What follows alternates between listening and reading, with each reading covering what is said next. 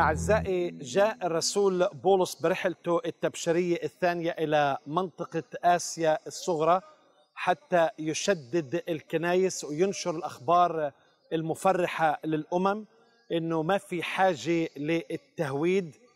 طبعا هاي ضد بدعة دعاة التهويد.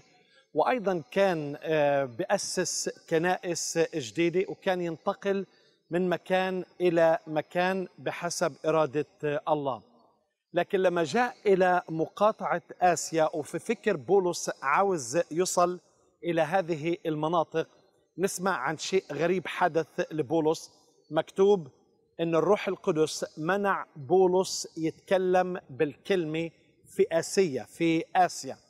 حاول عدة مرات ذهب إلى بثينيه إلى مسيه أخيرا وصل إلى الغرب عند بحر إيجيا عند ترواس وهناك سمع دعوة من شخص مقدوني إنه يروح لأوروبا إلى مقاطعة مقدونية إلى فيليبي حتى يبتدي الإرسالية في أوروبا.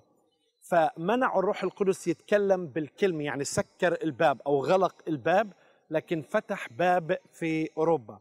وبعد ما رجع من أوروبا جاء إلى أفسس لكن بغرض أنه ما يقعد كثير لأنه قال لليهود في المجمع ينبغي أن أذهب إلى أورشليم حتى يكمل العيد حتى يعيد في أورشليم وعلى أساس إن شاء الرب أنه يرجع مرة أخرى إلى منطقة أفسس.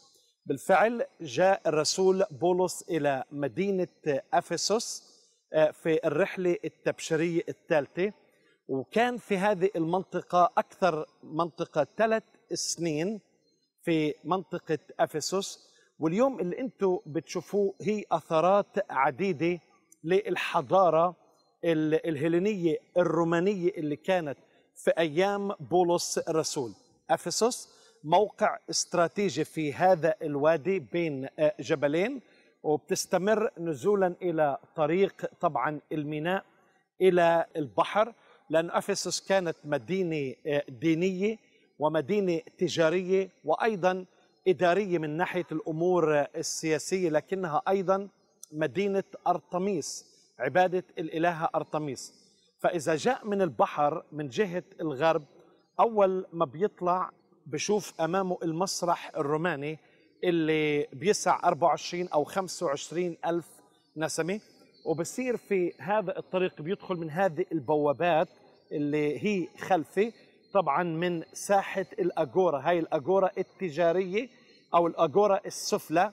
وهون طبعا ورائي مكتبة سيلسس اللي كانت ثالث أكبر مكتبة في العالم بعد الإسكندرية وبعد برغاموس وطبعا بصير في هذا الطريق اللي كان معبد بالحجارة أو الطريق الروماني والدكاكين على الشمال وعلى اليسار مع أقواس وأعمدة. وفي طبعا مناطق كثيرة لتخليد مثلا الأمبراطور هدريان والأمبراطور تراجان وصولا إلى البوابة بوابة هيركليس أو هي بالأحرى بوابة الإسكندر الأكبر لأنه بتشوف رأس الأسد على الإسكندر. لأنه هركليس أصلا هو اللي قتل أسد نيميان وألكسندر أو الاسكندر الأكبر ادعى أنه من سلالة هركليس. صعودا إلى الأغورا المدنية أو الإدارة المدنية وين بيت القضاء وإجراء الأمور. لكن هناك كان المواطنين يسكنوا في تلك المنطقة. افسس كان تعدادها أكثر من 300 ألف نسمة. بولس جاء بدعوة إلهية إلى هذه المنطقة حتى يتكلم برسالة المسيح وحتى يكون سبب بركة. لكن لما جاء إلى أفسس بولس أيضا كان بيشتغل بإيديه كان بيتعب وبيجاهد في هذا المكان. وكان طبعا هو ضليع وخبير في الفلسفات اليونانية وفي المدارس المتعددة الموجودة في تلك المنطقة.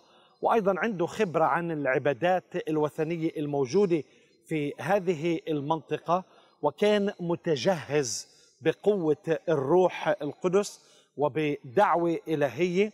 وهذه المنطقة اللي شهدت أكبر نهضة مسرح أحداث بولس الرسول في هذه المنطقة بنهضة عظيمة جدا.